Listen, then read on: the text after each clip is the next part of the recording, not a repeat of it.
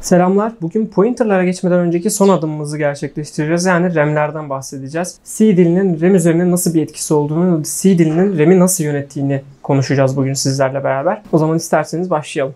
Evet, ekranda bir RAM görüyorsunuz. Bir RAM parçası görüyorsunuz. Peki bu RAM parçasından ne anlamalıyız? RAM parçasından içerisinde böyle kutucuklar olduğunu anlamalıyız. Tabii ki bu tamamen bir varsayım. Bu kadar az kutucuk göremezsiniz. Örneğin benim bilgisayarım şu an 16 GB ve 16 GB'ın içerisinde ne kadar böyle kutucuk olduğunu yanda görebilirsiniz. Bu hesabı da 16 GB'ın kaç megabayt olduğunu, onun kaç kilobayt olduğunu, onun kaç byte olduğunu, sonra onun da kaç bit olduğunu hesaplayarak buldum. Peki bu kutucukların içerisinde ne depoluyoruz? Bu kutucukların içerisinde işleme alacağımız bilgileri depoluyoruz. Örneğin ben bir kod yazdığımda, kodu başlattığımda RAM'e yavaş yavaş bilgi aktarım gelir. Örneğin global değişkenlerim neler? Main fonksiyonun içerisindeki değişkenler neler? Yavaş yavaş böyle bilgileri RAM'e yerleştirmiş oluruz ve onların üzerinde işlemler yaparız. Şimdi burayı böyle bir boşluk olarak varsayalım. En üstte makine kodları gelir. Daha sonrasında global değişkenler gelir.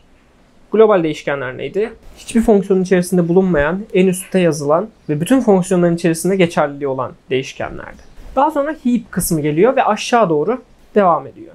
Stack kısmı da aşağıda başlıyor ve yukarı doğru devam ediyor. Yani heap ile stack birbirine ulaşana kadar devam ediyor. Ha, birbirlerine ulaştıklarında stack overflow hatası alıyoruz. Orada geleceğiz. Tabii şimdi ana konumuz stack. Çünkü heap'ler e, dinamik hafıza konusunda bizim işimize yarayacak olan ve orada öğrenmemiz gereken kısım. Stack'ten bahsedelim.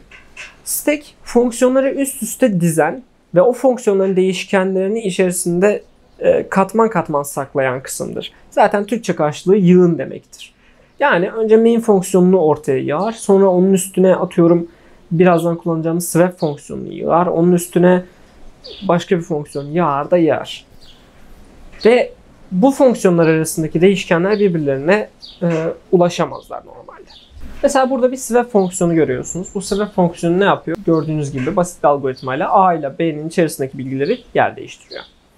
Bunu şimdi RAM'in üzerinde görelim. Main fonksiyonumuz en aşağıda. Bu arada kodu da açayım önce. Kodu biraz anlatayım. Ondan sonra bu kısma geleyim. Kodumuz burada gördüğünüz üzere swap fonksiyonu e, ekranda gözüken şeyi yapıyor. Main fonksiyonunda da x ve y var. x ve y'nin değerleri sırasıyla 1 ve 2. Daha sonra swap ile x ve y'nin yer değiştireceğini söylüyoruz ve ekranda x ve y'yi yazacağız.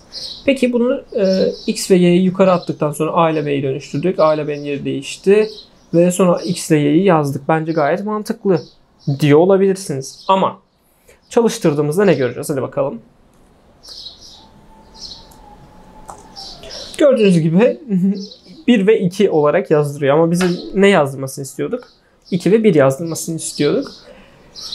Peki bu neden oluyor? İşte şimdi tekrar dönelim oraya.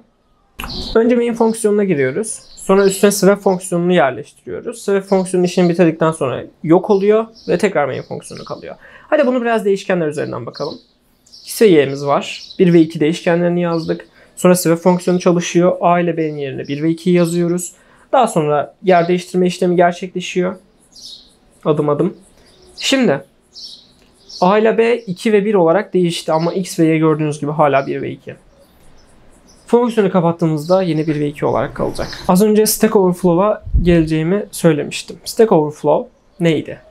Stack Overflow stackleri yığdık yığdık yığdık ama daha fazla yığacak yer kalmadı. Taşıyoruz artık. Bu anlama gelir. Yani kod bize bunu anlatmaya çalışıyor. Stack Overflow dediğinde. Peki bu nasıl gerçekleşir? Şu an karşınızda bir tane faktöriyel hesaplama kodu var. Bu kod bir recursive fonksiyon. Yani kendi içerisinde kendini döndürebilen fonksiyon içeriyor. Şimdi böyle durumlarda işte en çok e, Stack Overflow'un yaşandığı yerlerden biridir. Kendi içerisinde kendini o kadar çok döndürür ki artık yani sığamaya, sığamamaya başlar. Kodu biraz incelersek başlangıç sayımız var 7. 7'den itibaren multiple numbers diyoruz. E, multiply numbers diyoruz. 7'yi gönderiyoruz. Ve 7 eğer e, birden küçükse direkt 1 dön. Yani 1 veya 0 ise zaten direkt 1 döndürecek. Eğer öyle değilse şunu döndür. n çarpı multiply numbers n eksi 1. Yani 7'yi gönderdiğim zaman 7 çarpı 6'yı döndürecek.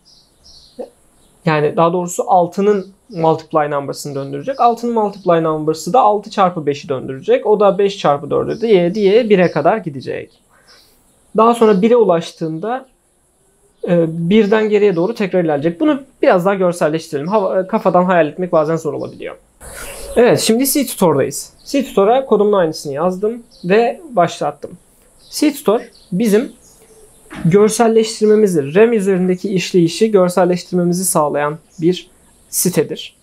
Pointer'ları öğrenirken kesinlikle kullanmanız gereken bir sitedir. Çünkü bazen hayal etmesi gerçekten zor oluyor. Aynı şekilde stack'i de anlamamıza yardımcı olacak. Zaten burada görüyorsunuz stack ve heap olarak iki bölüme ayrılmış. Tabii ki heap bizim için boş olacak çünkü hiçbir iş yapmıyoruz orada. Şimdi kodumuza başlayalım. 7 olarak main'e n7 olarak yazmıştık. Şimdi multiply, multiply numbers'a 7'yi yerleştirdi. Daha sonra ilerledi.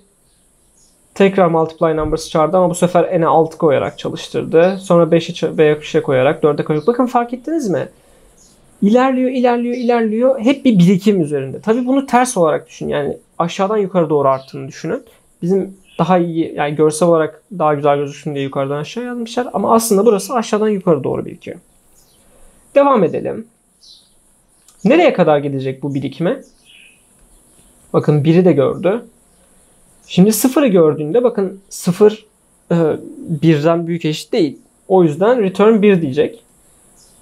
1 gönderdi. Geri döndük buraya. Geri döndük buraya. Geri döndük buraya. Geri döndük buraya. Geri döndük buraya. Tabi bu sırada işlem yapıyoruz hala. Geri döndük. Geri döndük. Geri döndük ve 5040 yazdırdık.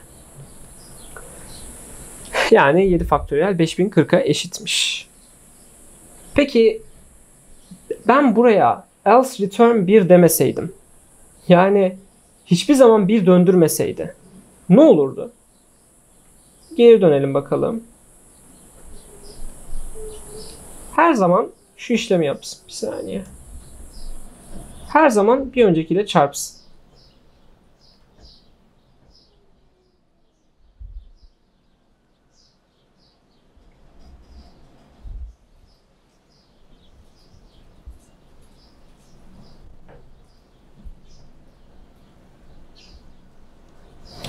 Gördüğünüz gibi daha kodu çalıştırmadan hata verdi. Çünkü traffic overload diyor.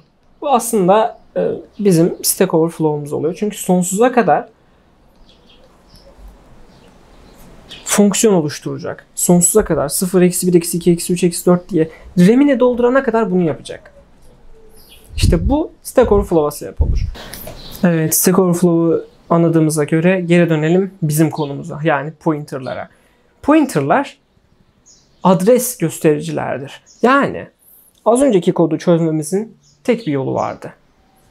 Main fonksiyonunu işaret eden pointer'lar. Yani A ve B X ve Y'nin değerini almayacak. X ve Y'nin konumunu alacak. RAM'deki konumunu. Çünkü RAM'deki konu değişkenin RAM'deki konumu değişmez. Orası sabittir. İçerisindeki değer değişebilir. Yapısı değişebilir ama konumu değişmez. Yani A ve B X'in konumuna işlem yapmamızı sağlayan yapılar olsaydı işimiz daha kolay olurdu. Yani biz X ve Y'nin değerini göndermek yerine X ve Y'nin konumunu gönderseydik A ve B'nin üzerinde yaptığımız işlemler yani A ve B'nin gösterdiği yerde yaptığımız işlemler X ve Y'yi işaret edecek ve X ve Y'nin üzerinde işlem yapmamızı sağlayacaktı teknik olarak. Pointer'lar tam olarak bu işe yarıyor. Ve daha fazla detayına bir sonraki videoda gireceğim. Bu video sadece RAM'i anlamamız içinde ve pointer'lara bir giriş yapmamız için de. O videoda görüşmek üzere o zaman.